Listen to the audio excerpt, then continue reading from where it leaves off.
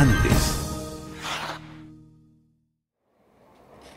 El material electoral de 24 provincias del Ecuador y del exterior se encuentra ya en el Coliseo Rumiñahui para el reconteo de 3.865 paquetes electorales, correspondientes a 1.275.450 millones de votos. Uno de esos paquetes electorales va a pasar por un proceso de recuento de la Junta Escrutadora. Ellos procederán a abrir el paquete electoral, sacarán el contenido de ese paquete electoral, que son las papeletas utilizadas eh, en el día de, de la segunda vuelta, y procederán a hacer un recuento de los mismos. Se generarán una acta eh, se entregará también a los delegados que estén ahí presentes y esa acta pasará al tema del sistema informático para poder ya visualizar y consolidar el tema del 100%.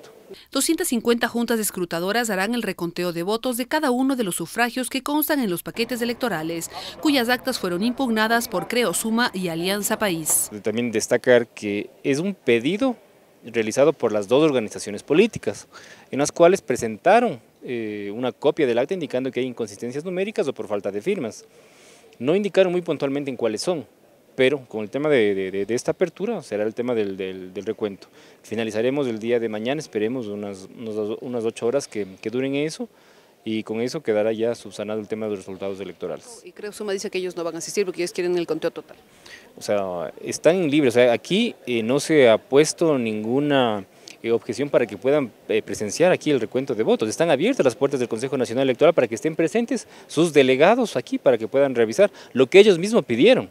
La custodia de los militares es permanente. Desde el transporte hasta la llegada del material electoral se encuentra su personal, al igual que en la parte interna del Coliseo Rumiñahui. Estamos eh, dando custodia a los paquetes permanentemente con grupos de guardia. ¿Y el total de personal que va a estar el día de mañana va a ser cuántos?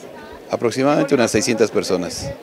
¿Solo militares? Solo militares, sí, Fuerzas Armadas. Además, este martes un militar custodiará cada paquete electoral dentro del Coliseo. Verónica Rivadeneira, Agencia Andes.